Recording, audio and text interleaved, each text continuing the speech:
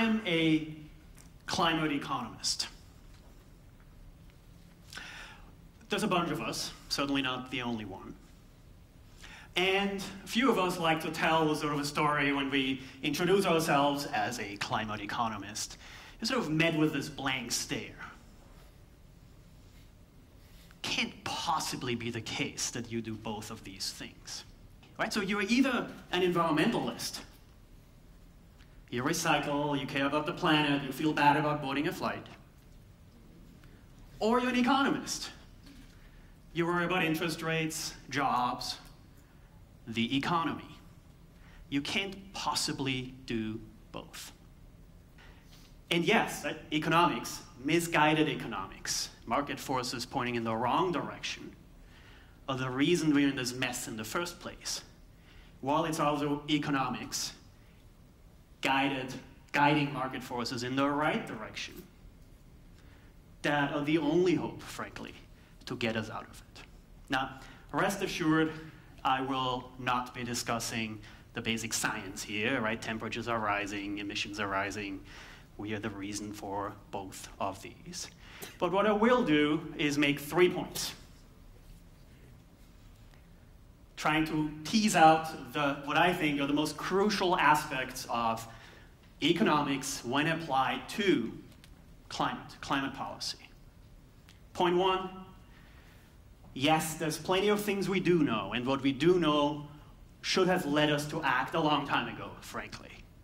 But really, it's what we don't know.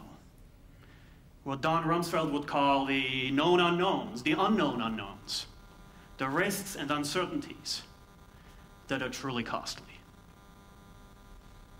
Point two is a bit of a confession, actually, but sort of economists have had this solution for a long time. Now, unfortunately, they, we, call it a tax. Tax, of course, is a four letter word and not just in Washington. Um, now, we don't really mean that when we say a tax. We mean many, many more things that fall under this. Or at least a more enlightened version means much, much more than just saying, let's tax CO2 and get out of the way. And then, point three if we uh, take this economic logic to its logical conclusion, it is not a question of if, it's a question of when will pursuing solar geoengineering, solar radiation management, lots of names for that, but something, frankly, some truly scary things that when, once one takes the economics seriously are not if. Okay, point one. perhaps the most important set of numbers that defines life on this planet going forward as we know it. Uh, usually, in this country, I would translate this into Fahrenheit. This is in a very educated audience, so let's stick to centigrade here.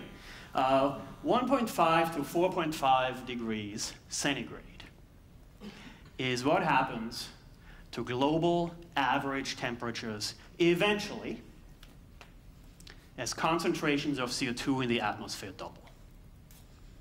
This is called climate sensitivity, has this very tight definition. And yes, there is this range. We don't know for sure what the right number is. But it doesn't include zero. We know adding CO2 isn't going to decrease temperatures. That we know. But this range is in fact huge. We've already passed one degree centigrade of global average warming. These political goals out there, one and a half, two degrees, getting there, exceeding that would already be bad enough. The problem is we don't know whether we will get there, whether we will be able to limit emissions to that, even if we pull out all the stops. Now, here's where this risk and uncertainty question comes in. This number has been with us for a while. Jule Charney, 1979, National Academy um, study. There were two studies available at the time. One's at two degrees, the other one's at four degrees. Add half a degree because why not? Uncertainty, and that was the range. Now, fast forward. IPCC, Intergovernmental Panel on Climate Change, dozens, hundreds of climate scientists coming together trying to make sense of this. Still the same range. 1992, 1995, 2001. Not for a lack of trying. Right? Hundreds, thousands of studies. Yes, the most important connection between CO2 up there and global average temperatures eventually. By now we have a better idea of what this range is. It's the likely range. There's a tight definition for that. It's 66% probability to be within this range, not two thirds, not 67. Don't ask why. 66% probability of being in that range. 2007. Good news, bad news. Right? Good news, we've tightened the range. Bad news, we did it the wrong way. Increased the lower bound. Looks like lower temperature increases are out. The likely range now, the best science says, is two to four and a half degrees. Enormous uncertainty was 2007, the fourth assessment report of the Intergovernmental Panel on Climate Change. Fast forward to the fifth assessment report, 2013. We're back to where we were in 1979. Now, turns out both things I said before, the good news and bad news, was wrong. It's not good news that we narrowed the range, it's just news. There's new science coming in. That was the best we could do 2007. Now, five years later, turns out that likely range is once again wider. Apparently, there's more risk, more uncertainty here than we, saw, we thought five years prior. Now, unfortunately, the other bit was wrong too. It's not necessarily bad news when we tighten the range, even if we do it by increasing the lower bound. This is the bad news. The widening of the range doesn't include zero. There are, in fact, climate changes built in here, but there is now bigger uncertainty, greater uncertainty of where we will actually be. And it's precisely this uncertainty, that risk, the not knowing, that is so costly. Now, just to assure you, yes, there's a lot of science behind this, a bunch of PDFs, not what Adobe gives us, but probability density functions. Uh, there's probabilities of where these temperatures are going. And yes, it's pretty likely we will be in this range. That's already bad enough, right? The two, three degrees of global average warming. The really problem is we can't cut off that tail. We can't be sure that global average temperatures don't rise even further. Right, so let's simplify once again. There's this likely range. But there's one additional problem here.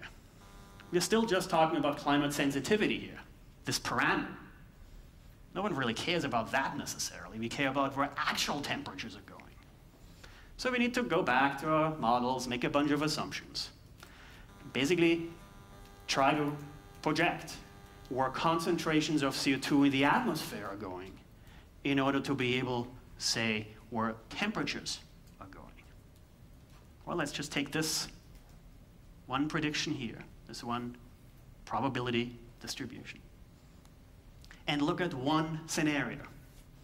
What the International Energy Agency calls the new policy scenario. That's already a pretty optimistic one. It already accounts for new policies coming down the line that are not currently on the books to try to see what that does. Well, and unfortunately, back to the risk and the uncertainty and how costly that is, we can't even exclude extreme scenarios like here, the 6 degrees centigrade of global average warming. Uh, Mark Lynas, British Bill McKibben, environmental writer, uh, wrote this book called Six Degrees. He's British, so he gets away with centigrade here. Six chapters, one degree, two degrees, three degrees, trying to detail what happens to life on Earth, what science knows about life on Earth, degree by degree, centigrade of warming. The sixth chapter, six degrees, starts with Dante's Inferno, sixth circle of hell. Not for lack of trying, and of course there's some literary license here, but frankly, There's no mistaking this for a planetary catastrophe, planetary Charlie Foxtrot, if you will. And unfortunately, we can't even exclude that. Now, right, as an economist, back to the dollars and cents, the known knowns, what we can quantify, what we can measure, gets us to something around $40 per ton of CO2. Every ton we emit, the average American emits about 20 tons of CO2. Average European, 10. I'm a dual citizen, I get 30. Every one of these tons causes about these $40 worth of damages that we know of. Then there's this stuff. Now, I can't give you a precise answer. I can't tell you what the right number is. What I can say is that it is exactly those tails, the fat tails, that are truly costly, that the right price is in fact much, much higher. It's not over till the fat tail zings. It's the risks and uncertainties that are costly. Okay, now, what to do? Right? Global emissions are going up, up and up. This was sort of a good news period here, was 2006. Global fossil CO2 emissions had been constant for about three years. Unfortunately, sorry, 2016. Um, 2017 emissions rose, 2018 highest ever. And unfortunately, it's not about stabilizing emissions. Right? It's about getting them down to zero. It's a very highly scientific graph here where they need to go, but actually it turns out it's actually pretty accurate. And you run these major models, they're all somewhere between 2040 and 2060, so sort of mid-century. We need to get down to zero. If we want to limit emissions to uh, temperature increases, even more so, so like one and a half degrees centigrade, we'd have to do that even sooner. Right? That's the task, and it's a big one. Now, turns out economists have an answer. We usually do for lots of things. Um, it's a carbon tax. It's a price on CO2.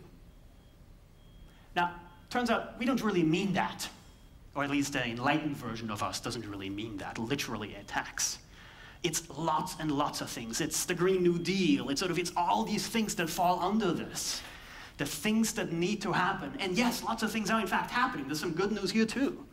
The price of solar photovoltaic it's decreased by some 80, 85% the last seven, eight years. Price goes down, deployment goes up. Germany has done a lot, truly a lot, to subsidize the deployment of renewable energy on the demand side mostly, with these global effects. China, same thing on the supply side for the most part.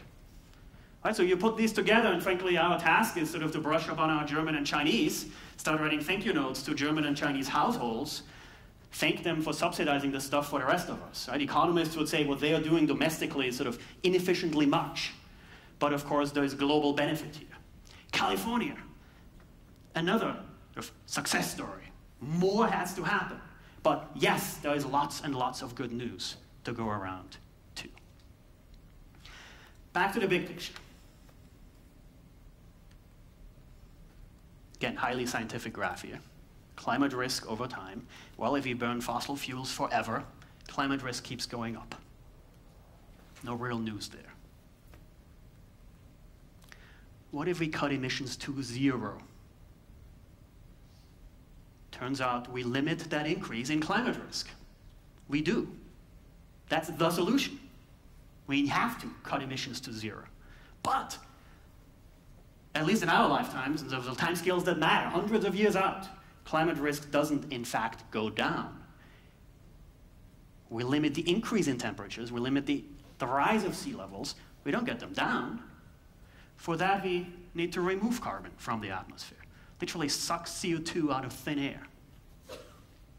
And even then, right, there's a lot of hurt built in here. There's this peak. And frankly, the big, big question, and once again to the economics here, the big question is what do we do? Is there something to be done? And where do the, those fundamental market forces point to? Right? Can we somehow shave this peak?